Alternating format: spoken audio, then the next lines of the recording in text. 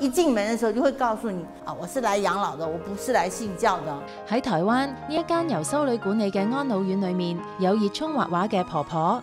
她从开始水彩画、铅笔画画到现在是油画哦。有中风过后学识接受病苦嘅神父，亦都有一啲冇亲人照顾，将修女当做自己亲人嘅老人家。修女点样将呢一度营造成为一个充满孝爱嘅家呢？请唔好错过呢一个星期嘅爱常传。